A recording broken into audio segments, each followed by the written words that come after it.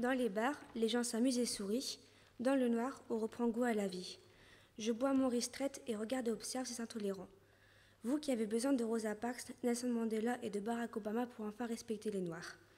Ça a commencé par les bus séparés en deux parties et ça a continué par un homme enfermé car il voulait défendre sa couleur, ses origines et ses valeurs et celles de ses confrères de couleur. C'est quoi ce monde, c'est quoi cette terre? Ces pères qui se permettent de te perdre tout leur, tout leur salaire au poker, à ces jeux de merde, dans l'alcool pour fuir à toutes leurs responsabilités de famille.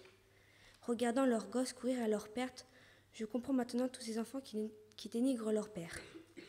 C'est quoi ces pères qui se permettent de partir et d'abandonner leur famille? Combien ont préféré tourner la page plutôt que de la relire? Car l'alcool fait des ravages. Combien de bleus sur leurs bras Combien de fois vous les avez vexés Car quand on aime, on ne compte pas. Tous ces enfants qui ne savent pas quoi répondre quand à l'école on leur demande ce que leur papa fait comme travail. Combien d'entre eux ont eu des moqueries car ils ne répondaient rien à cette question? Arrêtez de nous répéter du matin au soir que la beauté se trouve dans les magazines, la boulimie frôle l'anorexie car le monde du mannequinat excite. Une mère on n'en a qu'une, un père on n'en a qu'un, une vie on n'en a qu'une.